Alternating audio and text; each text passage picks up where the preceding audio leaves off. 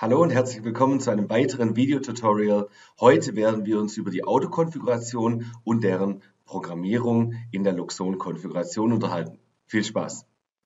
Ich habe mir eine Projektplanung schon einmal vorbereitet in meiner Konfiguration und werde euch nun die Schritte zeigen, wie wir eine Autokonfiguration durchführen können und wie wir damit arbeiten können.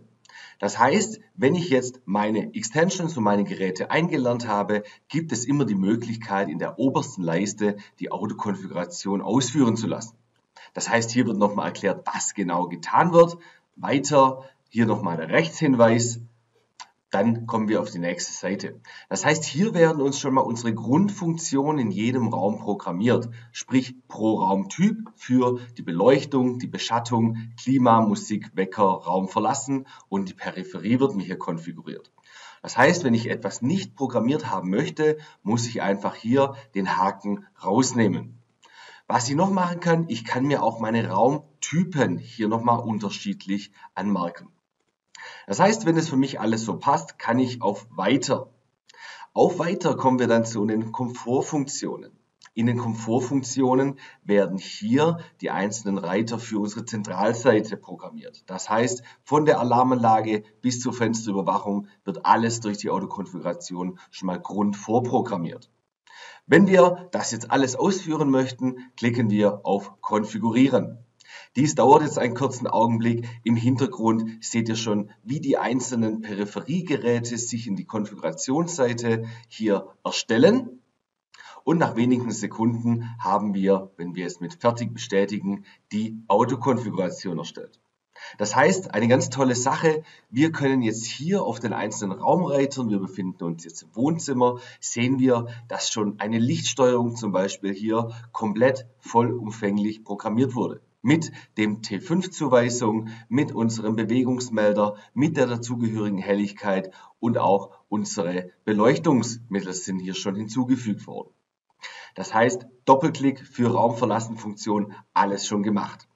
Eine Besonderheit bei der Lichtsteuerung hier ist zum Beispiel, es wurden schon automatisch uns hier ein paar Lichtszenen vorgegeben. Das heißt, wenn wir es nachher unsere Lichtstimmungen über unseren Taster durchschalten möchten, können wir dies schon mal machen. Bei der intelligenten Raumregelung sind zum Beispiel alle Temperatursensoren und die Stellantriebe schon verbunden mit der dazu eingestellten Temperatur Unsere Musikserverzone wurde schon automatisch verbunden, Mediensteuerung und die Beschattung natürlich. Selbstverständlich muss die Beschattung noch eingelernt werden. Das heißt, die Fahrzeiten müssen noch hinterlegt werden und was ganz wichtig ist, die Himmelsrichtung, sprich Parameter D für Direction muss hier noch ausgefüllt werden. Wir haben noch viele andere To-Dos, welche uns auch hier durch diese ähm, orangenen Reiter gekennzeichnet werden. Wenn wir es nur unsere To-Dos anschauen möchten, was wir noch machen sollten, können wir dies über den Reiter To-Dos anzeigen auch machen. Hier finden wir im Peripheriebaum unter Programm in jeweiligen Raumtyp unsere To-Dos, welche noch erledigt werden müssen. Das heißt, im Außenbereich haben wir noch ein To-Do, im Bad, im Flur, in der Garage und so weiter. Das heißt, wenn diese To-Dos abgearbeitet sind, können wir davon ausgehen, dass wir jetzt problemlos mit unserer Konfiguration in unserem Luxon automatisierten Gebäude arbeiten können. In der Autokonfiguration gibt es natürlich, wie gesagt, noch Themen durch die Notizen, welche bearbeitet werden müssen. Das heißt, hier zum Beispiel in unserem Kinderzimmer Autokonfiguration, hier müssen wir noch programmieren, dass das Licht bei Nacht nicht eingeschaltet wird. Das heißt, über eine Sonderlogik, über den Bewegungsmelder sperren zum Beispiel oder über einen Betriebsmodi mit dazugehörigen Bausteinen. In der intelligenten Raumregelung hier steht zum Beispiel Autokonfiguration, überprüfen Sie, ob der korrekte Temperatursensor angeschlossen wurde. Das heißt, wir markieren uns einfach hier den Touch, das heißt die Temperatur, welche von unserem Touch Pure hier aufgenommen wird und können dann im Peripheriebaum schauen, ist das wirklich der Touch Tree vom Kinderzimmer? Perfekt, das ist der, wir müssen hier jetzt nichts mehr machen. To Do kann also über Entfernen gelöscht werden oder ganz einfach über Markieren, Rechtsklick und löschen.